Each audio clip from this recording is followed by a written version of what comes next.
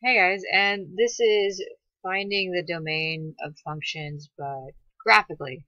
So suppose we don't have an equation, suppose we just have a picture of the graph, and the question is, what is the domain of the function?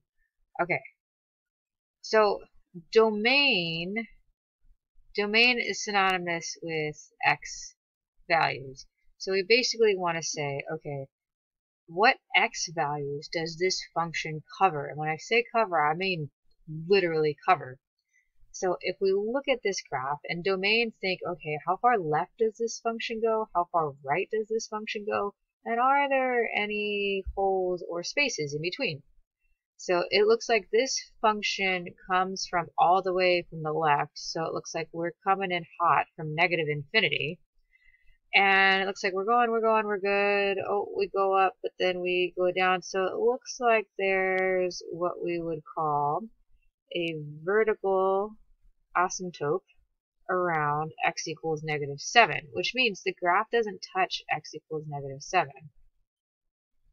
So in this function, x will never equal negative 7, okay, but it seems like it continues on its merry way, and it goes all the way right, and it's going to go right forever all the way off to positive infinity. So the domain of this function then, in interval notation, the furthest left it goes, is negative infinity. And then it goes up till negative 7, where it kind of hits a little bit of a pothole or asymptote. Okay.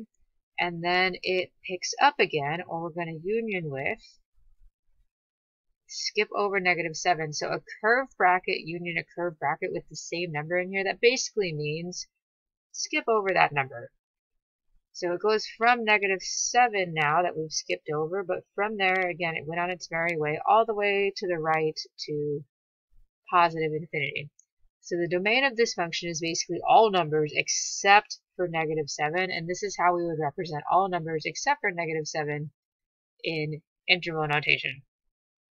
Alright, let's see another.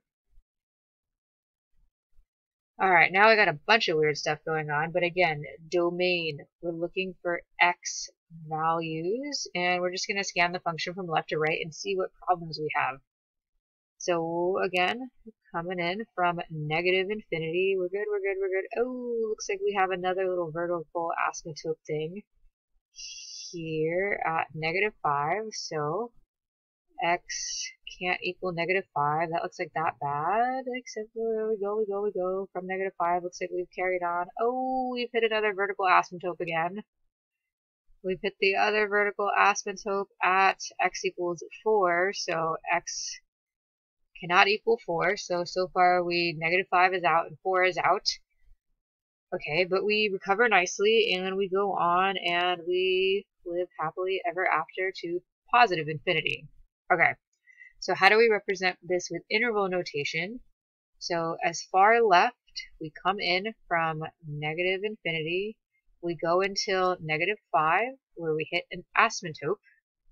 So union with, and then we're going to try to pick up again from negative 5. And from negative 5, we were all cool until positive 4, where again we hit another asymptote. And after we hit the positive 4 asymptote, we then carried on and we went all the way right until positive infinity.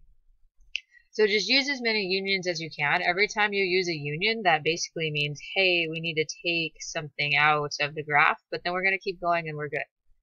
So this would be the interval notation then of this function. All right. See what else we got? All right, what about this function? How do I find the domain. So again, the x values. So I scan from left to right.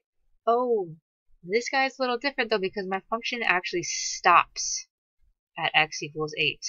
So I'm not coming in from negative infinity this time. In fact, my function just doesn't even exist until positive 8. And it looks like it's actually touching there.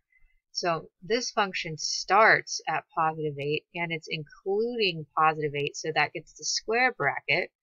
And as we follow it on to the right, it looks like, oh, there's an arrow there. That means it's going to go all the way to positive infinity. And infinities always get a curved bracket. So the domain of this function is positive 8 to positive infinity because it looks like, again, this function doesn't even start until positive 8. All right, one more. Let's see the domain of this semicircle. So this guy, again, is not coming in from negative infinity. The function, again, this function looks like it's starting at negative 8. So the leftmost point is negative 8, and it looks like it's touching. And then we follow, follow, follow. Oh, we're all good, we're all good. Oh, the function looks like it stops. This function is going to stop at negative 2. And it's touching negative 2, so we'll include negative 2, and that'll get the square bracket.